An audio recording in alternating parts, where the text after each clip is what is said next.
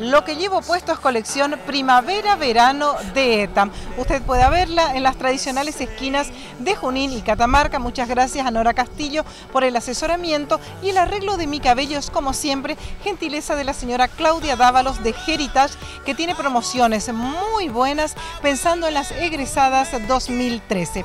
Se viene la reflexión del padre Rolando Ernst. Ustedes me dan el, el, tema. Es cuestión de escucharlos. Cuando dice bájense, bájense, súbanse, cómanse. ¿Cómo, cómo, cómo? ¿Cómo es eso? ¿De dónde sale ese castellano? Es imperativo. ¿Por qué? Es absoluto, ¿eh?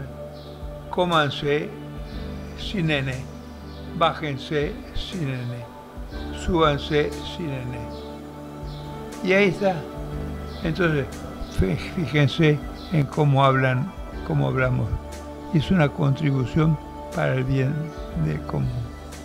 Después hay otra cosa que me llama la atención, que no es lo mismo sinónimo que parónimo, no es lo mismo.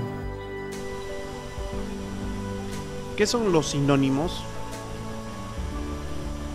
Muy bien, nosotros vamos a empezar a ver que cuando las palabras tienen conceptos similares, parecidos, o hasta en un caso diríamos exactos, ¿ya?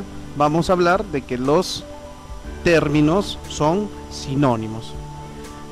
Son palabras que tienen significado equivalente o muy parecido, ¿no es cierto? Significado equivalente o muy parecido. Hay un sinónimo que se utiliza bastante acá. Hay un sinónimo que se utiliza bastante aquí. Y es, mm, no le puedo decir yo, porque no le van a llevar la atención. Hay que buscarlo cada uno, tiene que buscarlo cada uno. Pensar, espero que la tarea siga cumplida y que nos veamos la semana que viene. Nos veamos o nos oigamos, ¿no? espero, ¿cuál es el sinónimo? El sinónimo. Eh, no es lo mismo una cosa que la otra. incluso los locutores de televisión macanean ahí. ¿eh? Entonces, cuidado, cuidado. Fíjense cómo hablamos.